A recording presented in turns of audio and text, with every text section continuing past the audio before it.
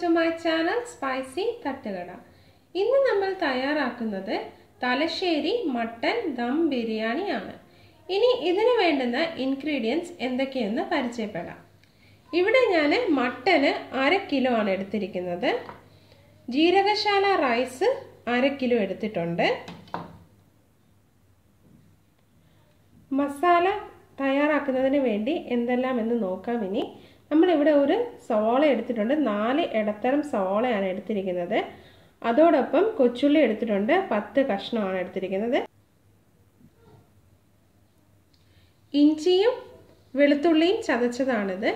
ഇഞ്ചി ഒരു ഇടത്തരം കഷ്ണമാണ് എടുത്തിട്ടുള്ളത്. വെളുത്തുള്ളി ഒരു പത്ത് അല്ലിയോളം എടുത്തിട്ടുണ്ട്. ഇത് രണ്ട് നാടൻ ഇഞ്ചിയും നാടൻ വെളുത്തുള്ളിയാണ് ഇവിടെ എടുത്തിരിക്കുന്നത്. പച്ചമുളക് എടുത്തിട്ടുണ്ട്. നാലെണ്ണം എടുത്തിട്ടുണ്ട്. തക്കാളി ഒരു പകുതി കഷ്ണം എടുത്തിട്ടുണ്ട്. നാരങ്ങ എടുത്തിരിക്കുന്നത് നമ്മുടെ റൈസിൽ ഒഴിക്കാൻ മല്ലിപ്പൊടി എടുത്തിട്ടുണ്ട് ഒരു ടേബിൾ സ്പൂൺ. ഗരം മസാല ഒന്നര ടീസ്പൂൺ. മഞ്ഞൾപ്പൊടി ഒരു ടീസ്പൂൺ. കുരുമുളക് പൊടി ഒന്നര ടീസ്പൂൺ. ഹോൾ സ്പൈസസ് എല്ലാം എടുത്തിട്ടുണ്ട്. നമ്മുടെ റൈസിലിടാൻ വേണ്ടിയിട്ടാണിത്. പട്ട ഗ്രാമ്പ് ഏലയ്ക്ക തക്കോലം പെരിഞ്ചീരകം കുരുമുളക്. ഇത് ഞാൻ ഇവിടെ എടുത്തിരിക്കുന്നത് മൂന്ന് ടേബിൾ സ്പൂൺ സൺഫ്ലവർ ഓയിലാണ് എടുത്തിരിക്കുന്നത്. മൂന്ന് ടേബിൾ സ്പൂൺ നെയ്യ് എടുത്തിട്ടുണ്ട്. അതോടൊപ്പം തന്നെ ഗാർണിഷിങ്ങിന് വേണ്ടിയിട്ട് അണ്ടിപ്പരിപ്പും കിസ്മിസും ടൂട്ടി ഫ്രൂട്ടി എടുത്തിട്ടുണ്ട്. ടൂട്ടി ഫ്രൂട്ടി ഓപ്ഷണൽ ആണ്. നമുക്ക് വേണമെങ്കിൽ എടുത്താൽ മതി. പിന്നെ വരുന്നത് മല്ലിയിലയാണ് പുതിന ഇലയാണ് കറിവേപ്പില. ഇത് നമുക്ക് ആവശ്യത്തിന് മാത്രം ചേർത്താൽ മതി. പിന്നെ ലാസ്റ്റ് നമുക്ക് റൈസിലൊരു കളർ കൊടുക്കാൻ വേണ്ടിയിട്ട് ശകലം തേങ്ങാപ്പാലിലോ വെള്ളത്തിലോ ഇനി അല്ലെങ്കിൽ നമ്മുടെ സാധാ പശുവും പാലിലോ നമുക്കൊരു ശകലം മഞ്ഞപ്പൊടി ഇതുപോലൊന്ന് കലക്കിയെടുത്തതാണ്. ഇനി നമുക്ക് എല്ലാത്തിനും ടേസ്റ്റ് കൊടുക്കുന്ന നമ്മുടെ ഉപ്പ് എടുത്തിട്ടുണ്ട്. അപ്പം ഇത് ഇത്രയാണ് നമ്മുടെ ഇൻഗ്രീഡിയൻസ് ആദ്യമേ ഈ ജീരകശാല റൈസ് ഒന്ന് കുതിർത്ത് വെക്കാം. അരി ഇതുപോലൊന്ന് കുതിരാൻ വെച്ചിട്ടുണ്ട്. നമുക്കിനി ഈ മട്ടണിലേക്ക് മഞ്ഞപ്പൊടി ചേർത്ത് കൊടുക്കാം. കുക്കറിലാണ് വേവിച്ചെടുക്കുന്നത്. അതോടൊപ്പം ശകലം ഗരം മസാല ഇട്ടാൽ മതി. ഇനി നമുക്ക് നേരത്തെ എത്തി വച്ചിരുന്ന കുരുമുളക് പൊടിയും ശകലം ചേർക്കാം. ലാസ്റ്റ് കുറച്ച് ചേർക്കാൻ വേണ്ടി മാറ്റി വെക്കണം. ഗരം മസാലയും കുരുമുളകും. ഇനി നമുക്ക് ആവശ്യത്തിന് ഉപ്പും കൂടെ ചേർത്ത് നന്നായി നമുക്കിതൊന്ന് മാരിനേറ്റ് ചെയ്ത് ഒരു രണ്ട് മൂന്ന് മിനിറ്റ് വെക്കാവുന്നതാണ്.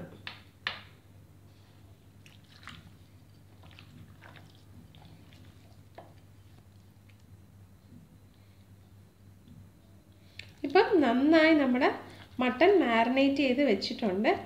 ഇനി നമുക്കിതൊരു ഒരു മൂന്ന് മിനിറ്റ് ഇവിടെ ഇരിക്കട്ടെ. അപ്പോഴത്തേക്ക് നമുക്ക് മസാലകളൊക്കെ ഒന്ന് വഴറ്റാം. പാൻ നന്നായി ചൂടായി വന്നിട്ടുണ്ട്. അതിലേക്ക് നമ്മൾ നേരത്തെ എടുത്ത് വെച്ചിരുന്ന സൺഫ്ലവർ ഓയിലിൽ നിന്ന് ശകലം ചേർക്കാം. എണ്ണ നന്നായി തിളച്ചിട്ടുണ്ട്. അതിലേക്ക് നമുക്ക് നേരത്തെ എടുത്ത് വെച്ചിരുന്ന സവോള കൊച്ചുള്ളി പച്ചമുളക് ഇത്ര ഇട്ട് കൊടുക്കാം.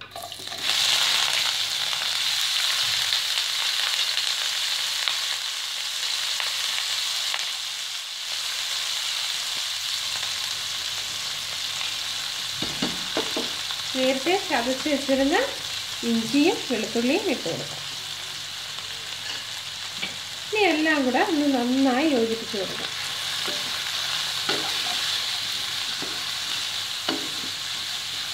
മട്ടൺ ഒന്ന് മാരിനേറ്റ് ചെയ്ത് ഒന്ന് ഫ്രിഡ്ജിൽ വെച്ചാൽ പെട്ടെന്ന് നമുക്ക് ആ മാരിനേഷനൊക്കെ ആ മട്ടണിലൊന്ന് പിടിച്ചു കിട്ടും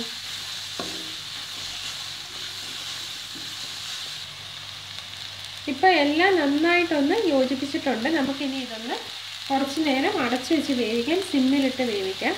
നമ്മുടെ മട്ടനിൽ നല്ലതുപോലെ മാരിനേഷനൊക്കെ നല്ലതുപോലെ കോട്ടായിട്ടുണ്ട്. നമുക്കിനി ഇതൊന്ന് വേവിച്ചെടുക്കാം. ഇതുപോലൊരു കുക്കറാണ് ഞാനിവിടെ എടുത്തിരിക്കുന്നത്. അതിലേക്ക് നമുക്ക് ഈ മട്ടന് ഇട്ട് കൊടുക്കാം. നമ്മൾ ഈ ബിരിയാണി വെക്കുന്നതും ദം ചെയ്തെടുക്കുന്നതും എല്ലാം കുക്കറിൽ തന്നെയാണ് അപ്പം നമുക്ക് ആദ്യമേ ഈ മട്ടൺ ഒന്ന് വേകാൻ വെക്കാം. അതോടൊപ്പം നമ്മൾ നേരത്തെ കുതിർത്ത് വെച്ച അരി നല്ലതുപോലെ കുതിർന്നിട്ടുണ്ടെങ്കിൽ ചെയ്യാൻ വേണ്ടിയിട്ട് വെക്കാം. മട്ടൻ വേഗം വെച്ചിട്ടുണ്ട്. നമ്മൾ മട്ടൻ ആഡ് ചെയ്യുമ്പോൾ പ്രത്യേകം ശ്രദ്ധിക്കുക. വെള്ളം ഒഴിക്കണ്ട. കാരണം മട്ടണിൽ നിന്ന് തന്നെ വെള്ളം ഊറി വരുന്നതാണ്. ഉള്ളി ഇപ്പുറത്തെ അടുപ്പിൽ വെന്തോണ്ടിരിക്കുകയാണ്. അപ്പോൾ നമുക്കിനി അതെന്തായെന്നൊന്ന് നോക്കാം.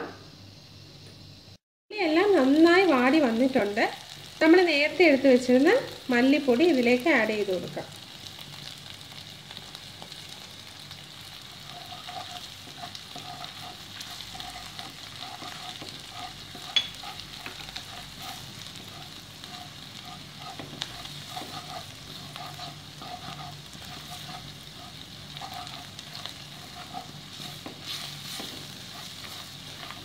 ഈ മല്ലിപ്പൊടിയുടെ പച്ച കൊത്ത് നന്നായിട്ട് പോകണം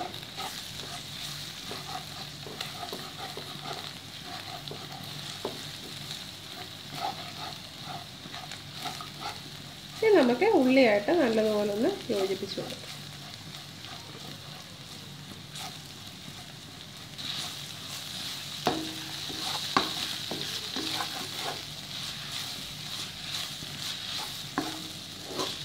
ഇനി നമുക്ക് നന്നായിട്ട് യോജിപ്പിച്ചതിന് ശേഷം വീണ്ടും സിമ്മിൽ ഇട്ട് കൊടുക്കാം. കൂടെ കൂടെ ഇളക്കി കൊടുക്കണം. വെളുത്തുള്ളി ഇഞ്ചിയും ഇപ്പം മല്ലിപ്പൊടിയും ചേർത്തത് കൊണ്ട് അടിക്ക് പിടിക്കും. അപ്പം അതൊന്ന് ശ്രദ്ധിച്ചോളൂ. അപ്പം നമ്മുടെ മട്ട നന്നായി വെന്തിട്ടുണ്ട്. ഇനി നമുക്ക് ഈ ഉള്ളിയിലോട്ട് ചേർത്ത് കൊടുക്കാം. ഞാൻ വെള്ളം ഒട്ടും ചേർത്തിട്ടില്ലായിരുന്നു. മട്ടനിൽ തന്നെ ഊറി ഇറങ്ങും മട്ടന് വേവ് കുറവാണ്. ഒരു രണ്ട് വിസിലൊക്കെ ആകുമ്പോഴത്തേക്ക് അങ്ങ് വെന്ത് കിട്ടും മട്ടൻ ഒന്ന് നോക്കണം. രണ്ട് വിസിലായിട്ടൊന്ന് നോക്കണം. വെന്തിട്ടുണ്ടെങ്കിൽ അല്ലെങ്കിൽ പിന്നെ അതനുസരിച്ച് വേവിച്ചാൽ മതി. കാര്യം മട്ടൻ അധികം വേവില്ല. പെട്ടെന്ന് വെന്ത് കിട്ടും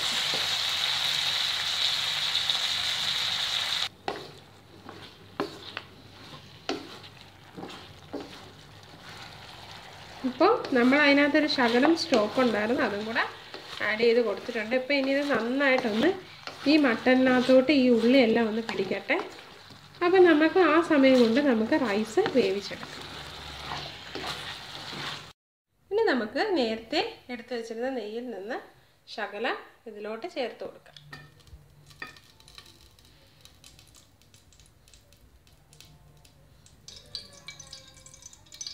നെയ്യ് ഒരു ടേബിൾ സ്പൂൺ ചേർത്തിട്ടുണ്ട്. നമുക്കിനി നേരത്തെ എടുത്ത് വെച്ചിരിക്കുന്ന ഹോൾ സ്പൈസസ് എല്ലാം കൂടെ ചേർത്ത് കൊടുക്കാം. ചേർത്ത് ഉടൻ തന്നെ നമ്മൾ വെള്ളം ആഡ് ചെയ്യും. ഒരു ഗ്ലാസ് അരിക്ക് രണ്ട് ഗ്ലാസ് വെള്ളമാണ് കണക്ക്. ഇപ്പം അതനുസരിച്ച് ഞാനിവിടെ വെള്ളം അളന്നെടുത്തിട്ടുണ്ട്. അര കിലോ അരിയുടെ. അപ്പം നമുക്കിനി വെള്ളം ചേർത്ത് കൊടുക്കാം.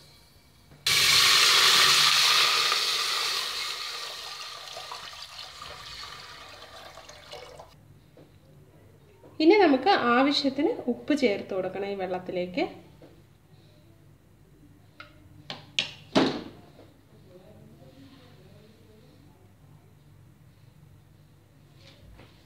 വെള്ളം നന്നായി തിളച്ചു വന്നിട്ടുണ്ട്.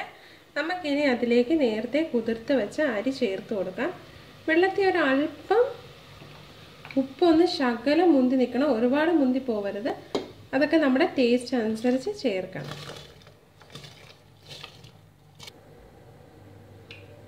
ഇപ്പം നമ്മളെല്ലാം ചേർത്തിട്ടുണ്ട് എല്ലാം പരുവമാണ് നല്ല നെയ്യുടെയൊക്കെ മണമൊക്കെ വരുന്നുണ്ട്. നമുക്കിനി ഇതൊന്ന് അടച്ചു വെച്ച് വേവിക്കാം. വിസിലിടരുത്. ഇപ്പോൾ കാണാൻ പറ്റുന്നുണ്ട് ഇതുവരെ ചെറുതായിട്ട് ആവി വരുന്നുണ്ട്. അപ്പോൾ ആ ഒരു സ്റ്റേജ് എത്തുമ്പോൾ നമ്മൾ വീണ്ടും നമ്മുടെ ഗ്യാസ് സിമ്മിലോട്ട് ഇടുക മസാല നല്ലതുപോലെ വെന്തിട്ടുണ്ട്. ആ ഇറച്ചിയിലെല്ലാം അരപ്പെല്ലാം നല്ലതുപോലെ പിടിച്ചിട്ടുണ്ട്. നമുക്കിനി ഇതിലേക്ക് നേരത്തെ നമ്മൾ ശകലം ഗരം മസാലയും കുരുമുളകും മാറ്റി വെച്ചിട്ടുണ്ടായിരുന്നു. തക്കാളി ചേർത്തിട്ടില്ല. നമുക്ക് ഈ ഒരു സ്റ്റേജിലാണ് ഇനി എല്ലാം ആഡ് ചെയ്യുന്നത്. ഇനി നമുക്ക് നേരത്തെ ബാക്കി വെച്ചിരുന്ന കുരുമുളക് പൊടി ചേർത്ത് കൊടുക്കാം. അതോടൊപ്പം ഗരം മസാലയും ചേർത്ത് കൊടുക്കാം. ഇനി നമുക്ക് ഇതിലേക്ക് തന്നെ നേരത്തെ എടുത്ത് വെച്ചിരുന്ന പകുതി തക്കാളി ഇട്ട് കൊടുക്കാം. ഇനി ഇതൊന്ന് ഇളക്കിയതിന് ശേഷം നമുക്ക് മല്ലിയിലയും പുതിനയിലയും കൂടെ ചേർക്കാം. ഇല ഇട്ട് അതോടൊപ്പം പുതിനയില ഒരു രണ്ട് മൂന്നെണ്ണം. രണ്ട് മൂന്ന് എത്തണം മതി. അതോടൊപ്പം ഒരു തണ്ട് കറിവേപ്പിലയും ചേർത്തിട്ടുണ്ട്. ഇത് നന്നായിട്ട് എല്ലാം കൂടെ ഒന്ന് യോജിപ്പിച്ച് ഒരു മിനിറ്റും കൂടെ മതി. നമുക്കൊന്ന് സിമ്മിലിട്ടാൽ മതി. നല്ല മണമൊക്കെ വരുന്നുണ്ട്. നല്ല കൊതിപ്പിക്കുന്ന ഒരു ബിരിയാണിയുടെയൊക്കെ ഒരു മണം വന്നിട്ടുണ്ട്. നമ്മുടെ റൈസ് വെന്തുകൊണ്ടിരിക്കുകയാണ് ഇപ്പുറത്ത്. ഫ്ലെയിം കുറച്ചിട്ടിരിക്കുകയാണ് റൈസിന്റെ. ഞാൻ ഇടയ്ക്കൊന്ന് തുറന്ന് നോക്കിയായിരുന്നു. ഇടയ്ക്ക് ശ്രദ്ധിച്ചോണം. തുറന്ന് നോക്കുക. വെള്ളം വലിഞ്ഞു വരുന്ന സ്റ്റേജ്. അപ്പം ഇനി നമുക്കിതൊന്ന് എല്ലാം കൂടെ ഒന്ന് യോജിപ്പിച്ചിട്ടുണ്ട്. നമുക്കിനി ഒരു ഒരു മിനിറ്റിന്റെ ആവശ്യമുള്ളൂ ഒരുപാടൊന്നും വെന്ത് പോകണ്ട മണം ഒന്നും നഷ്ടപ്പെടാതെ തന്നെ നമുക്ക് കിട്ടുകയും വേണം. അപ്പോൾ ഇതൊന്ന് അടച്ചു വെക്കാം. നമ്മുടെ റൈസ് ഇപ്പം നല്ലതുപോലെ വെന്ത് വന്നിട്ടുണ്ട്. വെള്ളമെല്ലാം വലിഞ്ഞിട്ടുണ്ട്. ഇനി നമുക്ക് ഇതിൽ നിന്ന് ശകലം മാറ്റിയിട്ട് നമ്മുടെ മസാല ഇപ്പം റെഡിയാണ്. നമുക്ക് ഏറ്റവും അടിയിലത്തെ ലെയർ മസാല ഇട്ട് കൊടുക്കാം. ഇപ്പം നമ്മൾ ലെയർ സെറ്റ് ചെയ്യാൻ പോകുന്നതിന് മുമ്പിട്ട് തന്നെ നമുക്ക് ശകലം നാരങ്ങ നീര് ചേർത്ത് കൊടുക്കും. ഒരു ശകലം ചേർത്താൽ മതി ഒരുപാടൊന്ന് ചേർത്ത് കൊടുക്കണ്ട. ഇനിയിപ്പം വെന്ത് പോകുന്ന പേടിയുള്ളവർക്കാണെങ്കിൽ നമ്മൾ ആദ്യമേ വെള്ളം ആഡ് ചെയ്യത്തില്ലേ? ആ ഒരു സ്റ്റേജിൽ ഒരു ടേബിൾ സ്പൂൺ ആകണം നാരങ്ങ നീര് ആഡ് ചെയ്യാവുന്നതാണ്. കമ്മിങ് പ്രോസസ്സിന്റെ ഫസ്റ്റ് പാർട്ടായിട്ട് നമുക്ക് ആദ്യം ഇനി ശകലം നെയ്യ് ഇതുപോലൊരു പാൻ വെച്ച് ഒഴിച്ച് നേരത്തെ എടുത്ത് വെച്ചിരിക്കുന്നു കാഷ്യൽ ആയിട്ട് കിസ്മിസ് കിസ്മിസുമാണ് അപ്പം അതൊന്ന് വറുത്തെടുക്കാം.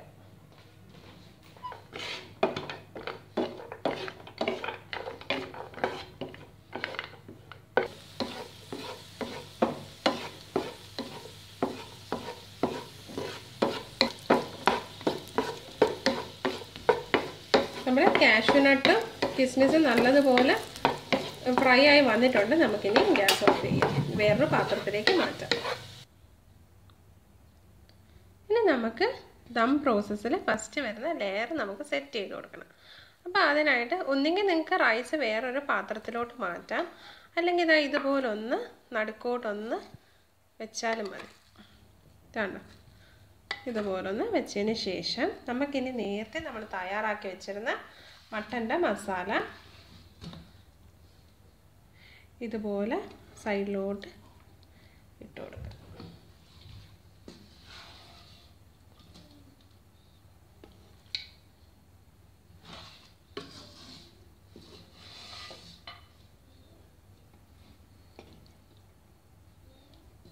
നമുക്ക് ഈ റൈസ് ഈ മസാലയുടെ മുകളിലോട്ട് ഇട്ട് കൊടുക്കുക. ഇട്ടതിന് ശേഷം ഒന്ന് ഒന്ന് നിരപ്പാക്കി കൊടുക്കുക. ഈ ശകലം മഞ്ഞളാണ് കലക്കി വെച്ചത്. ചേർക്കാൻ വേണ്ടിയിട്ട് നിങ്ങൾക്ക് വേണമെങ്കിൽ food colour permitted food colour use ചെയ്യാവുന്നതാണ്. മഞ്ഞളാകുമ്പോൾ ഹെൽത്തിയാണ് ശർക്കര ഒന്ന് ആഡ് ചെയ്ത് കൊടുത്താൽ മതി. ഇതിലേക്ക് മല്ലിയില പുതിനയില ഒരു രണ്ട് മൂന്നെണ്ണം കരിയാപ്പില ഇട്ടിട്ടുണ്ട്. രണ്ട് മൂന്ന് എതൾ കരിയാപ്പില. ടൂട്ടി ഫ്രൂട്ടി ഇട്ടിട്ടുണ്ട്. അപ്പം നല്ലൊരു കളറൊക്കെ കാണാൻ പറ്റാം. ഇനി നമുക്ക് ഇതിലേക്ക് നട്ട്സും കിസ്മസും കൂടെ നേരത്തെ വറുത്തത് ചേർത്ത് കൊടുക്കാം. ഇനി ഇതിലേക്ക് ശകലം ഗരം മസാല പൊടിയും കൂടെ ഇട്ട് കൊടുക്കാം. ശകലം മതി ഒരുപാട് ചേർക്കണ്ട. ഒരു ശകലം. അല്പം സൺഫ്ലവർ ഓയിൽ ആഡ് ചെയ്യാം. നിങ്ങൾക്ക് ഇഷ്ടമുള്ള ഓയിൽ എടുക്കാം. വെജിറ്റബിൾ ഓയിൽ ഏത് വേണമെങ്കിലും യൂസ് ചെയ്യാം. അല്ലെങ്കിൽ നമ്മുടെ വെളിച്ചെണ്ണയിലും ചെയ്തെടുക്കാവുന്നതാണ്. നമ്മൾ നെയ്യ് ഒരു ശകലമേ ഇപ്പം ചേർക്കുന്നുള്ളൂ. ദമ്മ് ചെയ്തെടുത്തതിന് ശേഷം നമ്മൾ ബാക്കി നെയ്യ് ചേർക്കത്തുള്ളൂ. അപ്പോൾ നമുക്കിനി ഇത് ഗ്യാസിലേക്ക് മാറ്റാം.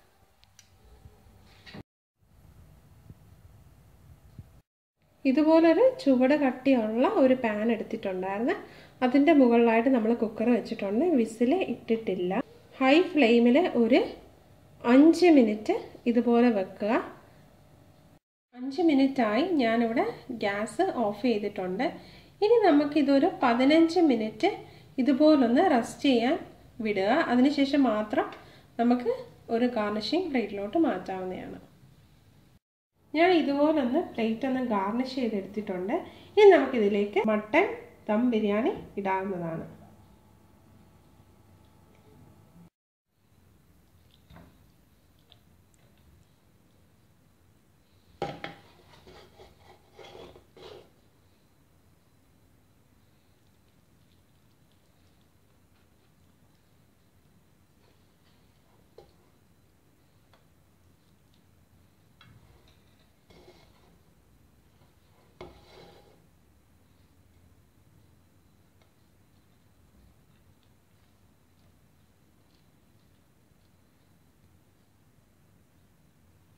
ഇപ്പോൾ നമ്മുടെ തലശ്ശേരി മട്ടൻ ദം ബിരിയാണി വളരെ ഇൻസ്റ്റന്റായി തന്നെ നമ്മൾ ഉണ്ടാക്കിയെടുത്തിട്ടുണ്ട്. ഒരു മണിക്കൂറിനകത്ത് തന്നെ നമുക്ക് ഈ കുക്കറിൽ തന്നെ ഇതുപോലെ ചെയ്തെടുക്കാവുന്നതാണ്. ഇനി ലാസ്റ്റ് നമ്മൾ ശകലം നെയ്യ് നേരത്തെ മാറ്റി വെച്ചിട്ടുണ്ടായിരുന്നു. അത് നമുക്ക് ഇതിന്റെ പുറത്തോട്ടായിട്ടൊന്ന് ശകലം ചേർത്ത് കൊടുക്കാം. അപ്പോൾ നല്ല നെയ്യുടെ ഒരു മണമെല്ലാം നമുക്ക് കിട്ടും. ഉപ്പും എണ്ണയൊക്കെ നമ്മുടെ ആവശ്യത്തിന് നമ്മുടെ ഇഷ്ടത്തിനനുസരിച്ച് ചേർക്കാവുന്നതാണ്. ഞാൻ ഇതുപോലെ ഒന്ന് എല്ലാം നല്ല വൃത്തിയായിട്ടൊന്ന് ഗാർണിഷൊക്കെ ചെയ്തെടുത്തിട്ടുണ്ട്. ഒരു ചെറിയൊരു വണ്ടൊക്കെ വന്നിട്ടുണ്ട്. അതുപോലെ തന്നെ പൂ നമ്മുടെ മുളക് വെച്ചിട്ട് ഒരു ചെറിയ ഫ്ലവേഴ്സൊക്കെ ഉണ്ടാക്കിയിട്ടുണ്ട് തക്കാളി. അപ്പം എല്ലാവരും ഇത് വീട്ടിൽ ട്രൈ ചെയ്ത് നോക്കുക. വളരെ ഈസിയാണ് ഫ്രണ്ട്സ് ഈ റെസിപ്പി നിങ്ങൾക്ക് എല്ലാവർക്കും ഇഷ്ടപ്പെട്ടെന്ന് കരുതുന്നു. എന്റെ ചാനൽ നിങ്ങൾ സബ്സ്ക്രൈബ് ചെയ്യുക. എന്റെ വീഡിയോസിന്റെ താഴെ കാണുന്ന സബ്സ്ക്രൈബ് ബട്ടൺ പ്രസ് ചെയ്യുക. അതോടൊപ്പം തന്നെ ബെൽ ഒന്ന് അമർത്തി വിടുക thanks for watching my videos